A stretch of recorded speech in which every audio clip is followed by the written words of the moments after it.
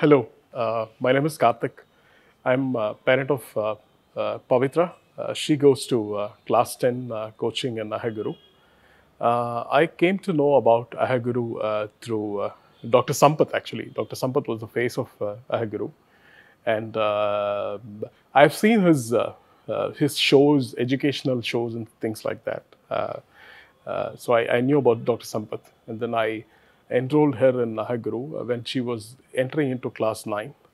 I felt um, uh, in, tho- in those days we, we were privileged with uh, having tuitions from special lecturers and professors for uh, every single subjects.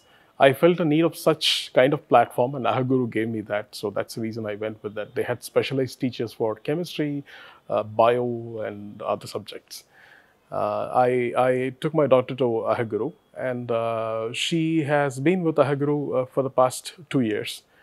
Um, to to tell about what Ahaguru did is is like uh, th- there are there are these production factories out there in the market. The production factories are like you need a product. You need a product that should be able to enter into IIT, and then there are these production factories. You can put your kid into those production factories. Yes, it is possible, but the problem is uh, those production factories fail to deliver the uh, origin of what the material is, what properties the material carry, which is the human and, and the concepts. Uh, they are more focused on uh, process and things like that, but Ahaguru is, is, has a balance between uh, both the worlds. Uh, the way Dr. Sampath delivers uh, concepts um, is, uh, is world class. Uh, for instance, I had a, I had a chance to watch his video on electric potential and electric circuits. Uh, the way he introduced such a complex subject in a very abstract, tangible way is, is something that you can feel it.